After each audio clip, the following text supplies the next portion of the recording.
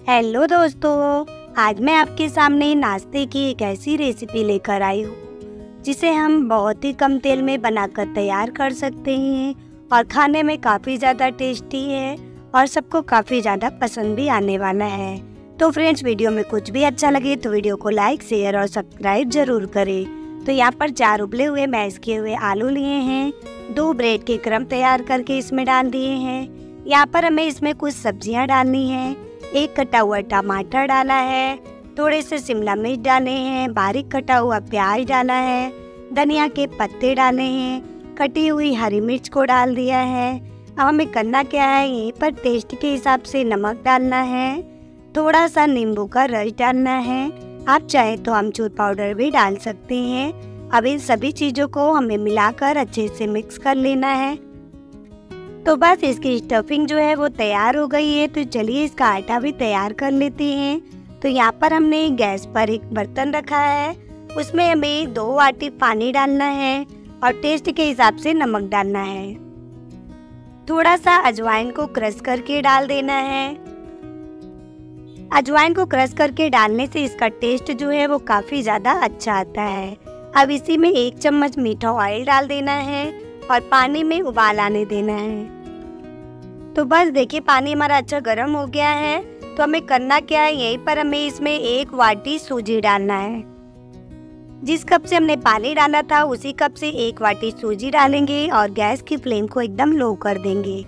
और जिस तरीके से हम हलवा पकाते हैं, बिल्कुल उसी तरीके से इसे पकाकर तैयार कर लेंगे। थोड़ी ही देर में आप देखेंगे कि यह ठीक होने लगा है और हलवे के जैसा जमने लगा है।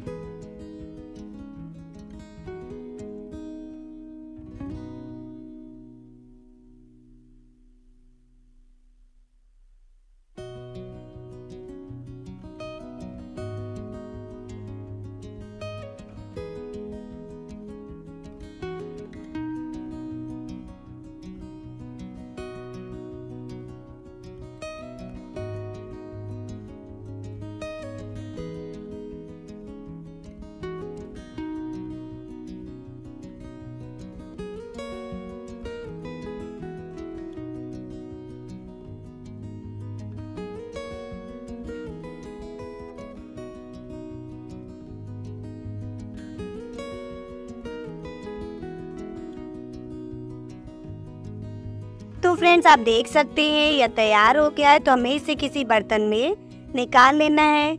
और जो आलू की स्टफिंग हमने तैयार की है, इस आटे की टिक्की बनाकर हमें उसके अंदर भरकर इस तरीके की टिक्कियाँ बनाकर तैयार कर लेनी है।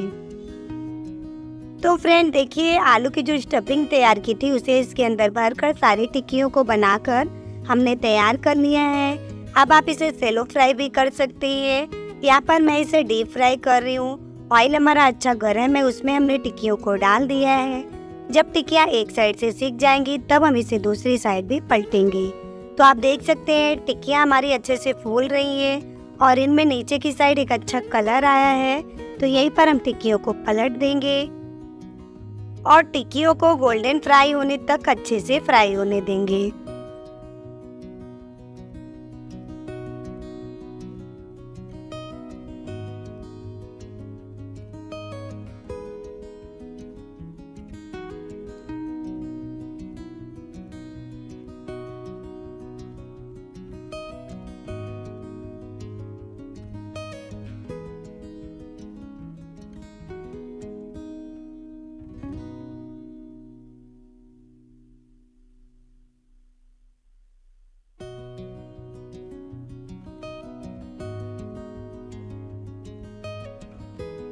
तो फ्रेंड्स ये लीजिए हमारी सारी टिक्कियाँ सीख कर तैयार हैं। आप इन्हें डीप फ्राई करिए या फिर सेलो फ्राई करिए।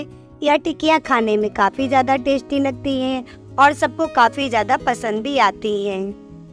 आप टिक्कियों को बनाकर फ्रीजर में स्टोर भी कर सकते हैं। जब भी, भी आपको टिक्कियाँ फ्राई करनी हो तो आप फ्रीजर से निकालिए और इन्हें फ्राई कर लीजिए या फिर सेलो फ्राई कर लीजिए। फ्रेंड्स वीडियो में कुछ भी अच्छा लगा हो तो वीडियो को लाइक शेयर और सब्सक्राइब ज़रूर करें। और आपको ये रेसिपी कैसी लगी हमें कमेंट में ज़रूर बताएँ। तो फ्रेंड्स ये लीजिए हमारी टिक्कियाँ तैयार है। इन्हें आप चटनी के साथ खाइए सॉस के साथ खाइए। ये टिक्कियाँ खाने में काफ़ी ज़्यादा टेस्टी लगेंगी, सबको काफ़ी ज़्यादा पसंद आएँगी। तो मिलते हैं एक नई वीडियो में, एक नई रेसिपी के साथ। तब तक के लिए बाय